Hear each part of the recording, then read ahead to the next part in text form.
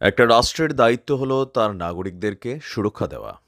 প্রতিবেশী রাষ্ট্রের সাথে কূটনৈতিক সম্পর্কটা এমনভাবে ব্যালেন্স করতে হবে যেন আমার দেশের নাগরিককে চাইলেই পাখির মতন গুলি করে উড়িয়ে দেওয়া যাবে এমন বিষয়গুলোকে অ্যালাউ না করা।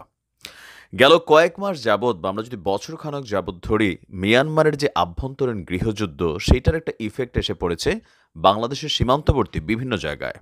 আর এর মাঝখানে সবচেয়ে গুরুত্বপূর্ণ যে পয়েন্টটা সেন্ট মার্টিন সেই সেন্ট মার্টিনে গেল বাংলাদেশ আওয়ামী লীগ সরকারের আমলেও বেশ কিছু ঘটনা ঘটেছে। আমরা দেখেছি আমাদের নৌবাহিনীর পক্ষ থেকে তেমন কোনো অ্যাক্টিভিটিস করা হয়নি। পাশাপাশি সেনাবাহিনীর পক্ষ থেকেও আসলে শক্ত কোনো প্রতিক্রিয়া দেখানো হয়নি। তখন আওয়ামী লীগ সম্পর্কার সম্পর্কে অনেক সমালোচনা আমরা করেছি। কিন্তু আজকে নতুন স্বাধীন বাংলাদেশ হিসেবে আমরা যেখানে দাবি করছি, সেখানে আজকে যেই ঘটনা ঘটেছে এইটার বিপরীতে আসলে কি অ্যাকশন হবে, সেটা সরকারকে ভেবে দেখতে হবে। সেন্ট মার্টিনের অদূরে মাছ ধরতে যাওয়া বাংলাদেশি মাছ ধরা ট্রলারকে লক্ষ্য করে গুলি করেছে মিয়ানমারের নৌবাহিনী। বিষয়টা কেমন আপনি দেখেন? একটা রাষ্ট্রীয় বাহিনী আরেকটা দেশের জেলেদের উপরে আক্রমণ চালাচ্ছে। শুধু তাই না, এই ঘটনায় গুলিবিদ্ধ হয়ে একজন জেলের মৃত্যু হয়েছে, আহত হয়েছে তিন জেলে। এর পাশাপাশি এই ঘটনায় আরও ষাট জন, আর ষাট জন মাঝি মাল্লা সহ চারটি মাছ ধরার ট্রলার অপহরণ করে নিয়ে গেছে আপনার মিয়ানমারে। এখানে আমরা দেখছি কালের কণ্ঠ নিউজে বলা হয়েছে যে গুলি করেছে মিয়ানমারের নৌবাহিনী মানে মিয়ানমারের একটা রাষ্ট্রীয় বাহিনী, স্বাধীন একটা সার্বভৌম দেশের একটা মানে একদল মানুষের উপর তারা হামলা চালিয়ে বসল। আপনার কক্সবাজারের টেকনাফ উপজেলার শাহপুরের দ্বীপের বাসিন্দাদের মালিকানাধীন একটি ট্রলারে এই ঘটনা ঘটেছে। আমাদের যেই ভাই নিহত হয়েছেন, তেনার নাম হচ্ছেন আপনার মোহাম্মদ ওসমান। তিনি শাহপরী দ্বীপের কোনারপাড়া এলাকার বাচ্চু মিয়ার ছেলে।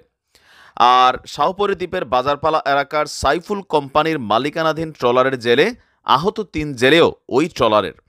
ট্রলার মালিকরা বলছেন, সেন্ট মার্টিন দ্বীপের দক্ষিণ পশ্চিমের মৌলভীর শিল নামের বঙ্গোপসাগরের মোহনাতে এই ঘটনাটি ঘটেছে। ধরে যাওয়া চারটি ট্রলারের মালিক হলেন শাহাপুরী দ্বীপের মিস্ত্রিপাড়ার মুসলিম মিয়ার ছেলে মতিউর রহমান, মৃত আলী হাসানের ছেলে আবদুল্লাহ তার ভাই আতাউল্লাহ, উত্তরপাড়ার সৈয়দ মাজির ছেলে মোহাম্মদ আসেম এবং এই চারটি ট্রলারে ষাট জন মাছ ধরার মাঝিমাল্লা ছিল। আমাদের স্থানীয় মানুষদের বক্তব্য হচ্ছে, সাগরে মাছ ধরার সময় হঠাৎ করেই মিয়ানমারের নৌবাহিনীর সদস্যরা ধাওয়া করে গুলি শুরু করেছে। এরপর পাঁচটি ট্রলার সহ মাঝি মাল্লাদের তারা মিয়ানমারে ধরে নিয়ে যে যায়। যেখানে তার মালিকানাধীন ট্রলারেই গুলিবিদ্ধ চারজনের মধ্যে একজন মারা গেছে আর ওই ট্রলারটি তারা ছেড়ে দিয়েছে। নিহত এবং আহত জেলেদের নিয়ে ট্রলারটি শাহপুরের দ্বীপের উদ্দেশ্যে রওনা হয়েছে। ধরে যাওয়া ট্রলার এবং মাঝি মাল্লাদের সাথে যোগাযোগ করতে পারছে না আত্মীয় স্বজনরা। এ ব্যাপারে কোস্টগার্ডের সাথে আলাপ করার পরামর্শ দিয়েছেন বিজিবির টেকনাফস্থ দুই ব্যাটালিয়নের অধিনায়ক, লেফটেন্যান্ট কর্নেল মোহাম্মদ মহিউদ্দিন আহমেদ। আর আমাদের উপজেলা নির্বাহী কর্মকর্তা বলছেন, বিষয়টি নানাভাবে শুনেছেন। আর কোস্টগার্ড বলছে যে, ঘটনা সত্য। আপনার তিনজন গুলিবিদ্ধ হয়েছে। যেই ট্রলারটাতে গুলিবিদ্ধ হয়েছে, তাই ওই ট্রলারটা ছেড়ে দিছে। এখন এই যে দুঃসাহস, আমাদের নৌবাহিনী আছে, আমাদের মনে হয় যে আমাদের তাৎক্ষণিক একটা রিয়েকশন করা দরকার।